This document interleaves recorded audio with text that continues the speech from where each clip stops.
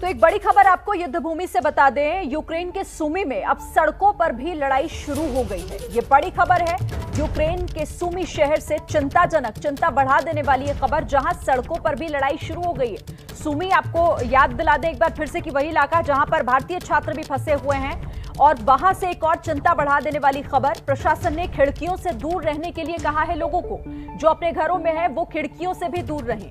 और सुमी में फायरिंग की भी आवाज़ें सुनी जा रही हैं। वहाँ पर हमले भी हो रहे हैं कई जगहों पर और ऐसे में प्रशासन ने लोगों को ये कहा है कि वो अपने घर की खिड़कियों से भी दूर रहें, क्योंकि सड़कों पर भी लड़ाई शुरू हो गई है। बड़ी खबर, लेकिन चिंता बढ़ा देने वाली खबर है ये।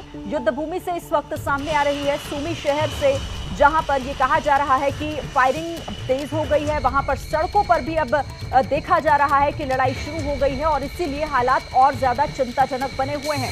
सुमी शहर में पहले से ही रूस की तरफ़ से हमले तेज किए जाते रहे, वो भी तस्वीरें एबीपी न्यूज़ पर हमने आपको दिखाई और अभी जो अपडेट वहाँ से मिल रहा है, वो चिंता बढ़ा देने वाला कि अब सड़कों पर भी लड़ाई शुरू हो गई है।